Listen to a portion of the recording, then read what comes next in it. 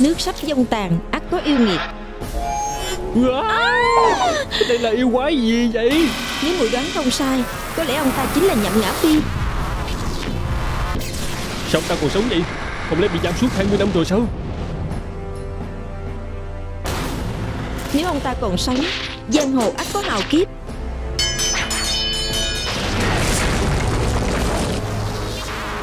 Cũng như câu Năng lực càng lớn, trách nhiệm càng lớn Ra tay nghĩa hiệp, bảo vệ hòa bình Trọng trách cứu giúp dân lành Trông cậy vào cậu đó Đúng như vậy Đệ nhất định phải tham gia Để không cản đệ được đâu Triều đình sẽ trao tặng tiền thưởng và phần thưởng phong phú cho môn phái chiến thắng cuộc thi anh hùng tân tiến kỳ này. Anh hùng tân tiến kỳ này thì ra còn có một người bạn rất trường kỳ cùng phấn đấu với cậu ta. Đó chính là thần điêu.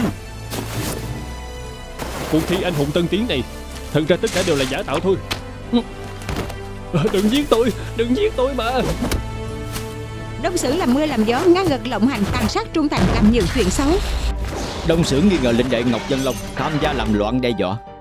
Thật ra muốn gì Huynh muốn muội hiểu, một ngày nào đó muội sẽ hiểu được tâm ý của huynh, sẽ cam tâm tình nguyện quay lại với huynh. Bao nhiêu năm qua, Đông Sưởng từng dùng những thủ đoạn cứng rắn để quản lý, cũng chỉ vì muốn bảo vệ thiên hạ thái bình.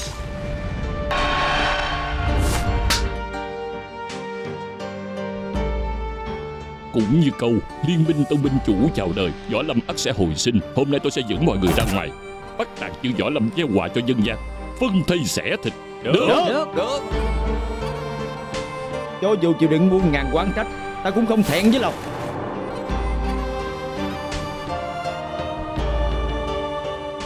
Cuối cùng bây giờ huynh cũng nghĩ ra Con đường sau này nên đi như thế nào? Đó chính là làm một đại hiệp chính nghĩa Cùng nhau bảo vệ chính nghĩa Chiếu nạp thêm nhiều người có năng lực tham gia. Như vậy mới có thể làm lớn mọi chuyện.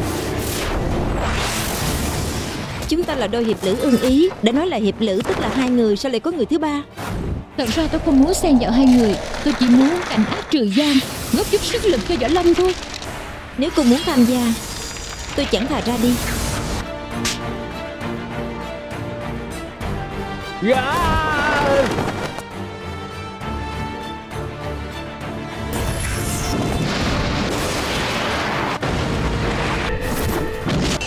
hùng trong truyền thuyết đã tới lúc chào đời, Cứu giúp quy khốn Làm một lần này thôi. Bảo vệ chính nghĩa, Bảo vệ hòa bình, Trọng trách cứu giúp thế gian. Cứ giao cho tôi đi. Võ Lâm Phục Sinh, phát sóng lúc 22 giờ từ 18 tháng 9 trên SCTV9